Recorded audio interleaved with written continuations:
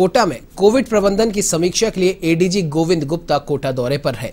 उन्होंने कोविड प्रबंध को लेकर collector Ujjwal Rathore IG Ravi Dutt Gaur SP Kesar Singh Shekhawat के साथ बैठक की। एडीजी गोविंद गुप्ता से बात की हमारे ब्यूरो चीफ प्रणय विजय ने।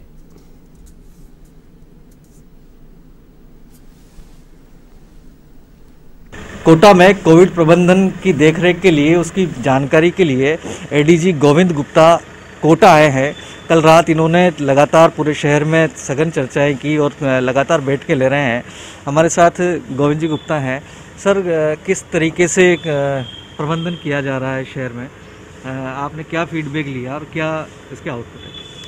देखो, कोरोना के प्रबंधन में एनफोर्समेंट का एक रोल होता है। जो भी नियम, कायदे, कानून है, आपका कोविड अप्रोप्रिएट बिहेवियर है, इस सब की पालना मास्क पहनना प्रॉपर डिस्टेंस मेंटेन करना कंटेनमेंट जोन को मेंटेन करना ज़ीरो मोबिलिटी इंश्योर करना, ये सारे काम इन्फोर्समेंट के होते हैं। तो इनके एनफोर्समेंट की समीक्षा के लिए, इनमें कोई कठिनाई तो नहीं है इसकी बात करने के लिए। और हमारा बेसिकली प्रशासन को सहयोग प्रॉपर है कि नहीं, चिकित्सा विभाग को सहयोग प्रॉपर है कि नहीं, इन सब चीज़ों की समीक्षा के लिए हम लोग यहाँ आए थे।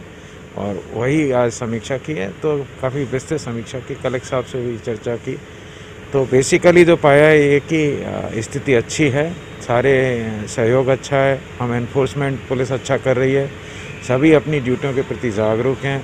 कल आपने देखा होगा कि कर्फ्यू का पालन अच्छा कराया था, कल बहुत इफ़ेक्टिव कर्फ्यू का पालन हुआ, और जो मेडिकल क्षेत्र के अधिकारीगण थे, उन्होंने भी अवगत कराया है कि इनके जो भी इंफ्रास्ट्रक्चर है मेडिकल का, इससे लड़ाई करने के लिए, वो तैयार हालत में किसी भी स्थिति से निमटने के लिए ये तैयार बताते हैं।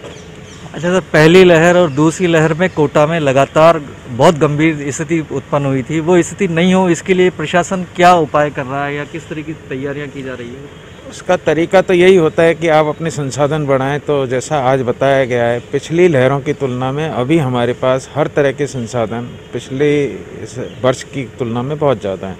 चाहे वो ऑक्सीजन की अवेलेबिलिटी हो, चाहे ऑक्सीजन युक्त पलंगों की संख्या की हो, चाहे आईसीयू के पलंगों की संख्या हो, या डेडिकेटेड हॉस्पिटल्स की कैपेबिलिटी की बात हो, दवाइयों के स्टॉक की बात हो, इन सब चीज़ों में बेसिकली पिछले बार से हम ज़्यादा तैयार हैं, हमारा सिस्टम ज़्यादा तैयार है, सरकार ज़्यादा तैयार है। अच्छा आप पुलिस से हैं तो मैं एक सवाल पूछना चाह रहा हूँ आपसे कि पुलिस लगातार ड्यूटी करती है। पहली लहर, दूसरी लहर में पुलिस वाले बहुत प्रभावित हुए हैं।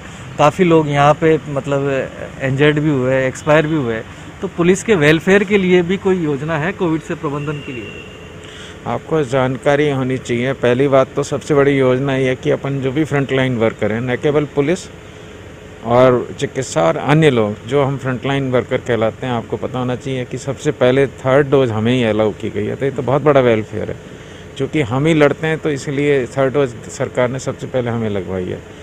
दूसरा बेसिकली हम विभाग के तौर पर भी पुलिस कर्मियों के वेलफेयर का ध्यान रखते हैं। आइसोलेशन होम आइसोलेशन उनकी बेसिकली अगर बीमार हो जाते हैं तो उनके रख रखाव फिर अगर बीमारी का खर्चा की बात आती है तो उसमें भी जो भी सरकार की योजनाएँ वेलफेयर फंड हैं, उनसे उनको कराते हैं। भगवान ना करें, मृत्यु की अवस्था में भी आपको हम बता दें, पिछले साल जो मृत्यु हुई हैं, उनमें से करीब, अधिकांश को हम सत्तर लाख के करीब जो सरकार की योजना है, उसमें से हम पैसा दिया है।